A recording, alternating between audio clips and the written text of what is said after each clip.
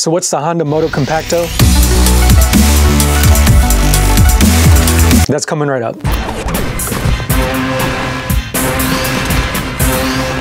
Welcome to RunPlayBack. This week we're taking a spin with the Honda Motocompacto electric scooter, a foldable ride that's as intriguing as it is compact. Let's dive into its features, sort through the pros and cons, and see if it's the urban mobility solution you've been looking for. So let's get to it.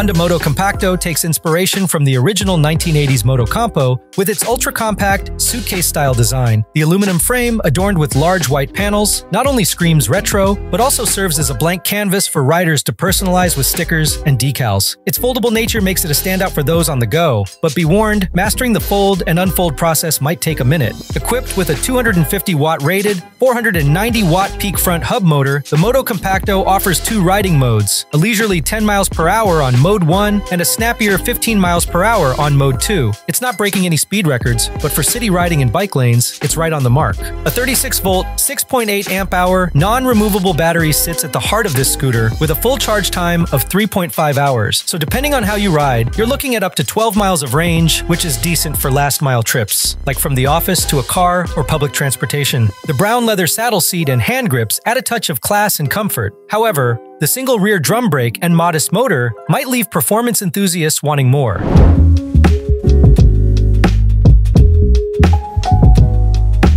All right, it's finally here, the 2024 Honda Motocompacto electric scooter. So really excited about this thing. I actually had to pick it up from the Honda dealership. As you can see, it comes in this, uh, just a regular box. You would never know that this is an electric scooter. So it's not lightweight, it's about 42 pounds, so it's pretty substantial. But the fact that they could fit an electric scooter inside of this tiny box is pretty interesting. So let's open it up, see what's inside.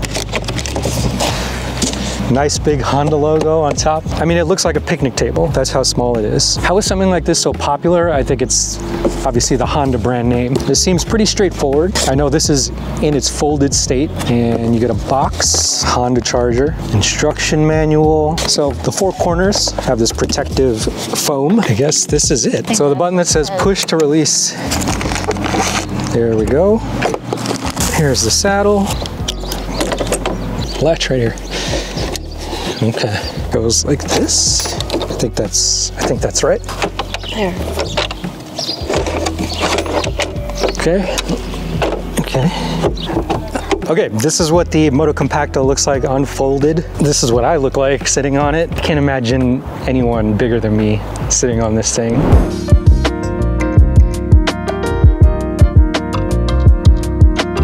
Right, so I got my measuring tape and let's check out the dimensions. So length looks to be about 36 inches from the front all the way to the rear wheel over here. Height from the ground up to the top of the display is about 34 and a quarter inches. And then width from, looks like the handlebars, is about 18 inches. Start with the handlebars. So you have these kind of leather grips or faux leather. You have a rear drum brake and the size of the wheels are about hmm, eight inches. You have a right hand thumb throttle and you have a center mounted display. They do have an app where you can change more settings. So here's the Honda branded strap for carrying when it's folded. In the front here is the headlight. So it looks like it's in blinking mode. I don't know if it stays solid. And then this is the charging port. And we also have a backlight with brake functionality. So the Motocompacto is a front wheel drive motor and it's 250 watt rated, 490 watt peak. So on mode one, top speed is about 10 miles per hour. On mode two, it's about 15 miles per hour. And the total range for something like this is only about 12 miles. Inside, the battery is 36 volts and 6.8 amp hours, so tiny. So I also read that the charge time is about 3.5 hours, which is okay. So you wanna make sure you have some access to an electrical outlet. Here's the foot pedals and the kickstand. And like I said, the total weight of this thing is about 42 pounds. So we got some practice in, and now it's a lot easier to fold and unfold the Honda Motocompacto. So to unfold it, first you gotta bring the handlebars up. There's a switch right here in the back. So you press that down, and you lift this up. You open this latch up here, pull the bars until it clicks. Okay, clicked in, close it. And then you open this up here, and then rotate the bars left and then you snap in the latch over there and then the last latch is here on the bottom. When you lift it up and lock it in. So here's the saddle. Unfold it like that. Secure it with the latch. Push it down. And then make sure it's facing forward. The smaller side is facing front. And you just drop it in here automatically locks in. And then to get the back wheel out, so with the latch, when you open it up, it doesn't go all the way out here. You have to keep it kind of closer to the body, and then you rotate it up like that. And then you just pull the wheel out, so you hear a click.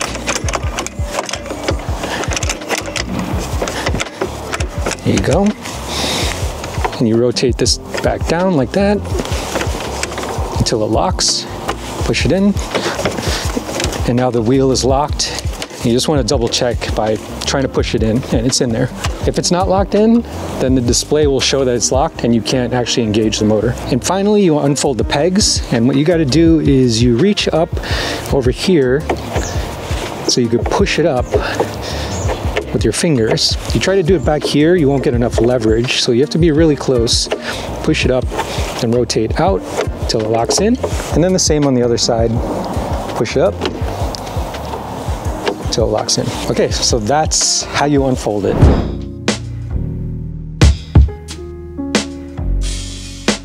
All right, first ride with the Honda Motocompacto. Again, this is what I look like sitting on it, super small. I put my phone with the speedometer app so I can actually see how fast I'm going. I do have it set on mode two, and it looks like we have about 75% battery, so that should be enough for this little leisurely ride up and down the block. Let's see, uh, let's see how this goes, okay? Kickstand needs to go up. And away we go. All right, I'm going at a leisurely eight miles per hour, nine, uphill. Now, uh, my inclination is to squeeze my legs together just so I have a little bit more control. Um, you have a very very tight turning radius, these tiny wheels. It's like riding a scooter. It's like riding a bird scooter, but you're sitting down.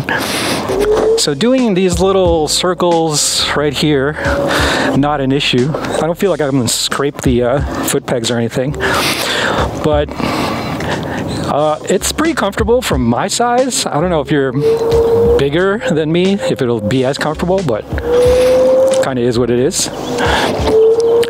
Let's try to do a full speed test. I'll go all the way up here. 11, 13, 14, 15 miles per hour, 16, about 16. I feel the motor cutting off at 16 miles per hour. Now I do feel it kind of struggling going uphill, 12 miles per hour going uphill. This is a lot of fun. I mean, you know, like it feels, it feels so tiny. Test the drum brakes. so you have uh, a decent amount of stopping power. I would not rely on this thing to instantly stop you, especially if you weigh more than me. The initial unboxing and the unfolding was a little bit, it wasn't as intuitive as I thought it would be. There's certain pressure points to like release the foot pegs um, and to unlock the lever for the rear wheel. And then just like little latches and sort of like things that you've never really seen before on a scooter or an e-bike. So, you know, that, that took a little bit of time. I'm sure as you ride this more often, it'll get easier to fold and unfold. But that initial unfolding was just a little bit tricky. Again, I could see this thing as a last mile vehicle. So let's say you're in a city and you bring this thing in your car and you park your car in a parking garage, but maybe your office is like a couple blocks away. It's uptown, downtown you could easily just hop on this thing, ride the bike lanes, get to where you're going, fold it back up, bring it into the office, charge it, and shouldn't be an issue. It did remind me of just like a bird scooter or any kind of ride sharing scooter, um, except you're sitting down. And they do have things like that. They do have scooters, you know, with these like eight inch wheels where you can sit. So it's like the platform and then just a stem with a saddle. And those are okay. They look kind of weird. But the fact that the body is encased in this like picnic table looking thing is what makes it interesting, I think. Um, if you're someone who likes to customize, right, you have this whole area, and I've seen some pictures where people put like whole graphics over here. So if you have a business or whatever, you could advertise right here. You could probably put some stuff in this slot, although you know, it would probably rattle around. But I think this is meant for putting like a bag or something like that. You know, you wouldn't want to have just like loose items flying around or anything. I mean, it's not going to fit everyone. I think if you're like over 200 pounds, you're not going to have a good experience on this. There's no suspension.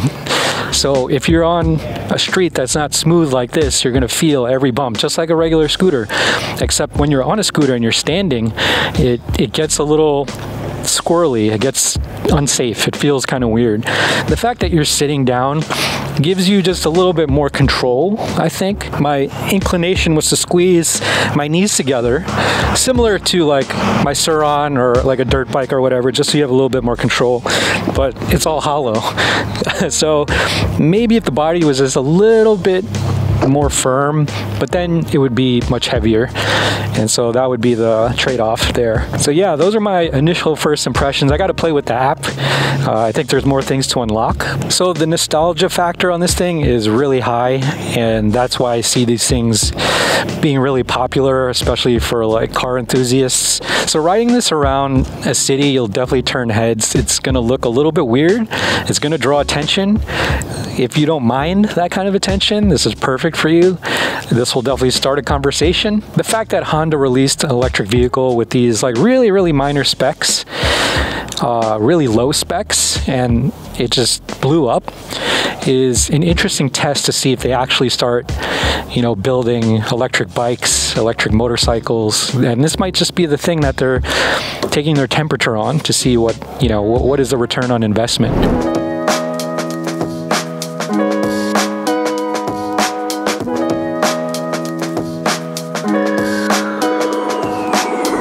Here's how you fold it back down. Put the kickstand down, push this up, put the foot pegs in, and then the other side. That will do the rear wheel. So we open it up and bring it close to the body, turn it up to unlock it. Then you lift this piece up and push the wheel in. And you want to make sure it's locked by taking the latch and turning it back down, like so. And you just double check by pulling the wheel and make sure it's secure. Then we do the saddle, you push this button right at the stem over here, unlatch the saddle, bring this back down. You also want to pull this latch towards you so that the seat folds. And then you take the locking latch, you put it back up here, and you just close it. And then you put it back inside of the body this way or this way, doesn't really matter. And then finally, you fold down the bars. So first you take this latch, open it, and you rotate it, that. And then you close the latch again, open this latch over here, and then you want to push the stem down by opening this locking latch. And here's the locking pin, so you just have to pull that up so this thing goes down. Push it down, then you close this latch so it stays in. Then finally you fold the whole handlebar assembly down so you hear a locking sound. There you go. Then you put the kickstand up and now you're ready to go.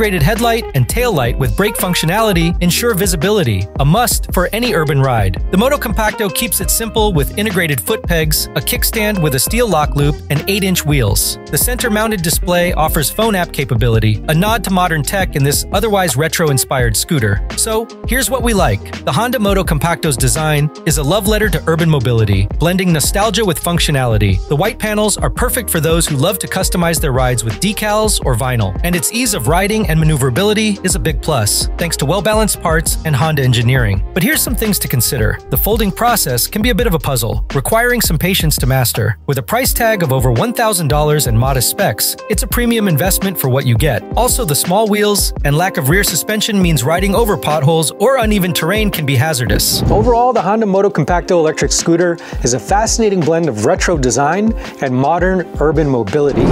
While its compact size and unique style make it an attractive option for city dwellers, the learning curve for folding, the low power specs, and suitability for all riders are factors to consider. So what's your take on the Honda Motocompacto? Does its charm and portability outweigh its limitations for you, or do you think it's a fun collectible? Drop your thoughts in the comments below. As always, if you want to dive into more EV tech tips, click the links on the side and remember to like and subscribe so we can help you find tech deals that fit your lifestyle. We'll see you guys in the next video.